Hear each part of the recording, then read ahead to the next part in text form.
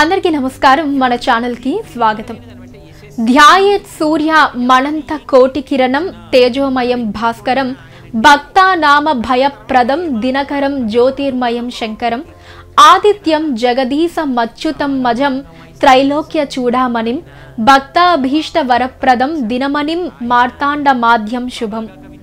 ఆరోగ్యం కోరుకునే వారికి సూర్యనారాయణ మూర్తిని ఆరాధిస్తే ఎలాంటి భయంకర రోగాలైనా తగ్గిపోతాయని వేదవాక్కు. పురాణాలు ఇతిహాసాలు పరిశీలిస్తే నిజమేనని నిరూపణయింది. అమితమైన శక్తి సంపూర్ణ ఆరోగ్యం ఆ ప్రత్యక్ష దైవానుగ్రహమే. అందుకే మన సాంప్రదాయంలో ఉదయాన్నే సూర్యునికి నమస్కారం చేస్తే గాని ఏ పని మొదలు పెట్టరు ఇప్పటికీ పల్లెల్లో వారికి ఏ మంత్రము వారికి తెలియదు ఏ తంత్రము వారికి రాదు. కేవలం చేతులెత్తి దండం పెట్టడమే వారికి తెలుసు. సూర్యుడంటే దేవుడు అది వారి నమ్మకం. అందుకేనేమో రైతులు నాటిన ప్రతి విత్తు మొలకెత్తుతుంది. పంట పొలాలు సస్యశ్యామలంగా పండుతాయి. పాడి పంటలతో ఆరోగ్యంగా నూరేళ్ళు సుఖంగా ఉంటున్నారంటే ఉదయించే సూర్యోదయమే వారి ప్రగతికి అభ్యుదయం. ప్రకృతి మాత పరవశించి పచ్చదనాల చీర కట్టినా ఉరకలెత్తే నదులన్నీ పరవళ్ళు తొక్కినా అంతా సూర్యానుగ్రహమే. సకల జీవులకు రైతు అన్నదాత. కానీ ఆ సంకల్ప ప్రదాత ఆ దయామూర్తి భానుమూర్తే. అందుకే వేదకాలం నుండే పండితులు గృహస్థులు వైదిక సంప్రదాయం పాటించేవారంతా ఆయనకు ఆర్ఘ్యమిచ్చి సంధ్యావందనం చేస్తారు. మరి సూర్య దేవాలయాలు కోనార్క్ అరసవిల్లి ఇంకా అక్కడక్కడ ఉన్నాయి. కానీ కాశీలో పురాణ ప్రసిద్ధమైన పన్నెండు దేవాలయాలున్నాయి. వాటికి మహిమాన్విత శక్తి ఒక ప్రత్యేకత ఉంది.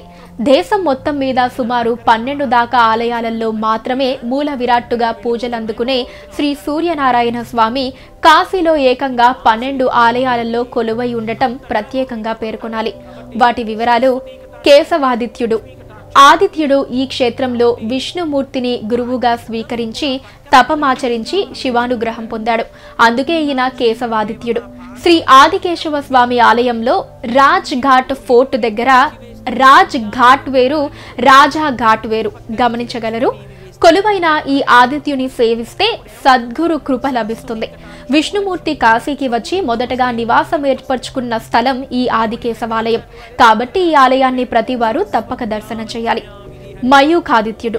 సూర్య భగవానుడు దుత్పాప ధర్మ నదుల సంగమ స్థానం వద్ద వైకుంఠవాసుని ఉపదేశం మేరకు విశ్వనాథుని అనుగ్రహం ఆపేక్షిస్తూ మహోగ్ర తపస్సు చేయసాగాడు.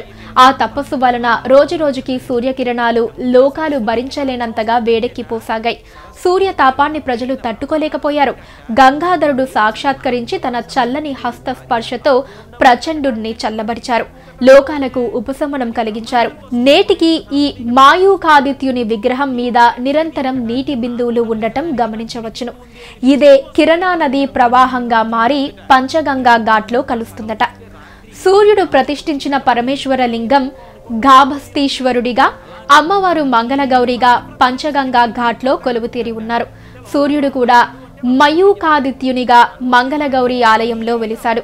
ఈ స్వామిని ఆరాధించిన వారికి అనారోగ్యం దరిచేరదు. నిత్య జీవితంలోని అశాంతులు అన్నీ తొలగిపోతాయని విశ్వసిస్తారు గంగాదిత్యుడు. లలితా ఘాట్ వద్ద గల నేపాలీ మందిరం క్రింద బాగాన ఉన్న గంగాదిత్యుని కొలిచిన వారికి ఎలాంటి ధన నష్టం ఉండదని అపమృత్యు భయం ఉండదని చెప్తారు.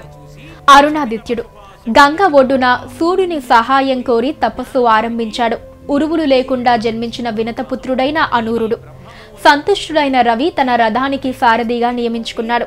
త్రిలోచన ఘాట్లో శ్రీ త్రిలోచనేశ్వర స్వామి మందిరంలో వెనక భాగాన ఉన్న శ్రీ ఆంజనేయుని విగ్రహం క్రింద ఉన్న ఈ రూపాన్ని పూజిస్తే దరిద్రం దాపరించదని సంపూర్ణ ఆరోగ్యంతో కూడిన పరిపూర్ణ జీవితం సంప్రాప్తిస్తుందని చెప్తారు.